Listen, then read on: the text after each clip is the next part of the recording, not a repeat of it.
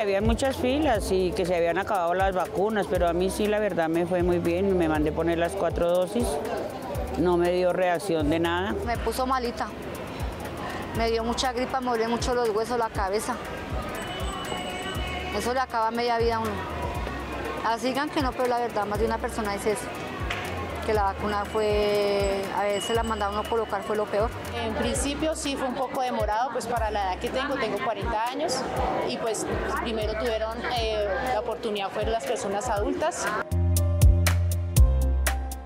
Me parece que debería ser gratuita, a pesar de que no es un factor de riesgo para los hombres, como es un factor de riesgo eh, para las mujeres, porque pueden eh, llevar a cáncer y demás, eh, me parecería buenísimo porque eh, si eh, no va a haber contagio. Es fundamental que tanto hombres como mujeres no solo reciban la vacuna, sino que pues eh, tengan conciencia sobre qué es lo que genera en la sociedad. Sería una buena estrategia eh, que se tuviera en cuenta, o sea, que se tomara la responsabilidad de ambas partes eh, en reducir pues enfermedades que pueden ser transmitidas tanto de hombres como mujeres.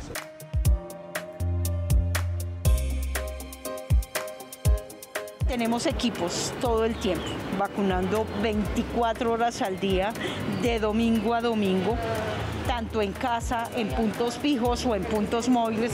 Yo pienso que es como falta como de propaganda, porque por ejemplo esto nunca lo comentan de que bueno, ahí en la plaza de Restrepo están colocando vacunas, les interesa o no. Sí, sí, sí, porque tengo un nieto de 13 meses y hasta ahora las vacunas han sido efectivas. Yo creo que en eso estamos muy bien, sobre todo que los puestos, vea, estamos en la plaza y también hay centros de comerciales que también hay. Lo que yo he oído así en las noticias es que hay varios puntos, están yendo a las casas y todo.